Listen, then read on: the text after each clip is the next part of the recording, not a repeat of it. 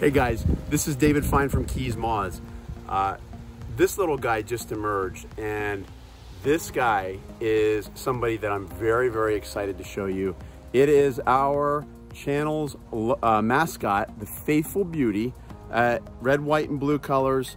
Guys, it's Composia fidelissima, and that last name, the species name fidelissima, uh, gets its name from fidelity, which would be faithful. Obviously, it was named because it's a U.S. bug and it's got U.S. colors. And in honor, I wore my Star Spangled Banner shorts. But anyway, guys, super cool bug. This guy just emerged. I'm raising these guys right now, and I just wanted to share with you a little bit about this beautiful creature. I've got great videos coming up that we're gonna show you some of the, the detailed uh, details of this bug.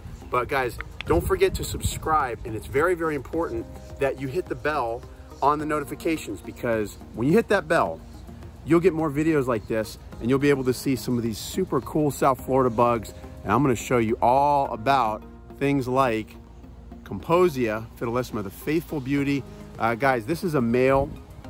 It just emerged uh, literally minutes ago and it's drying his wings right now. So uh, he's super chill and I'm breeding these guys. I found a few clusters of eggs lately, which has allowed me to uh, take these in and raise them and document the life cycle. So uh, we're gonna do that now.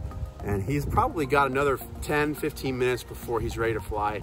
And, uh, and we'll see if we can get him hooked up with a girl. This is a boy. Uh, sexes are very similar, actually very diff difficult to tell apart, uh, but the boys do have some feathers on the end of their antenna. I probably can't see it from this video. You're gonna have to check out some of the incredible macro videography and videography shots that I got uh, in upcoming videos. But this is just gonna a quicker video that can just give you a snapshot of what's to come. Guys, this bug is super hard to find. I'll never forget the first time I saw one when I was a little kid uh, in Boca Raton at actually at Gumbo Limbo Nature Center in Boca Raton. I saw this white, blue, and red thing flying by and I thought it was a butterfly. Never seen a butterfly like that before. I was thinking I was like 10 or 12 years old.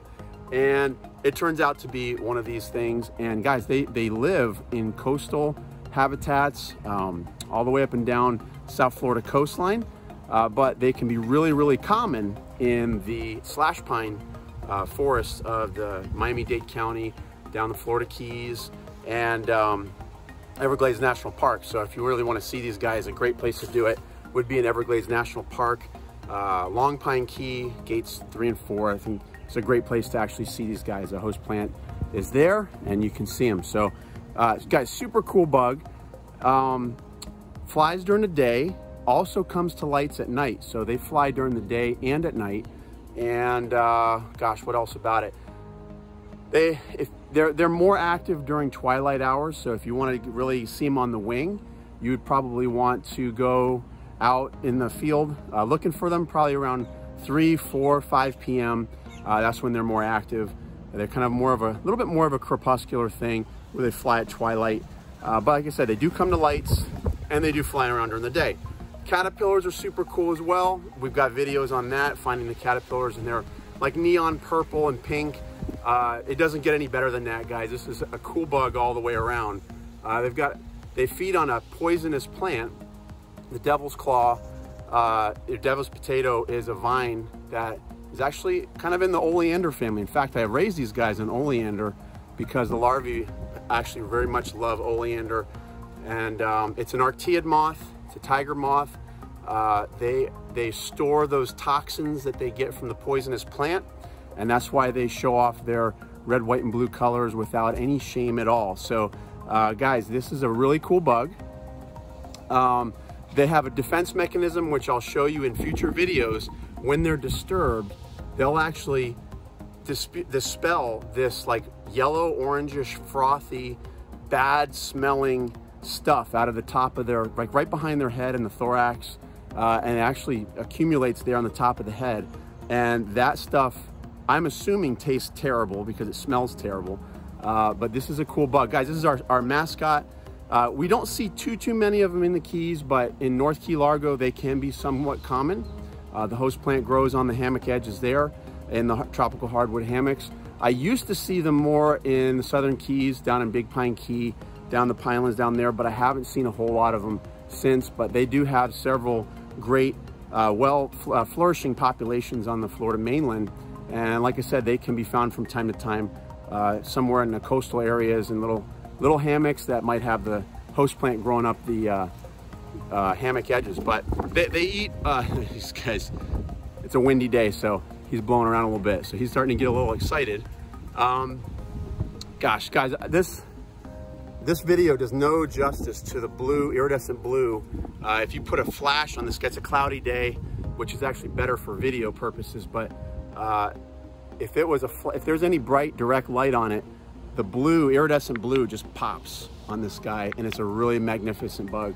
Um, so, gosh, what else about this bug? Uh, fantastic bug. Oh, it's our mascot. So our logo uh, on Keys Moths was kind of in honor of this uh, little beauty here, uh, Composia fidelissima. They live in South Florida and in the Caribbean. Uh, I know they're found in Cuba and the Bahamas and some of the Caribbean islands and such. And there's a few Composia species that live there as well. But um, they're pretty skittish. Even though they're poisonous, they don't like to hang around very long. If, if you see one zip by, uh, boy, they move. So uh, cool bug. Guys, hope you like the video. I'm gonna show you a lot more about this bug in videos coming up. And so I hope you subscribe to the channel. Uh, we're trying to build our Keys Moths family and we're gonna show you uh, all kinds of neat stuff about the moths of South Florida, butterflies and moths of South Florida, including the Faithful Beauty. So guys, subscribe to the channel. Like I said, don't forget to smash the bell.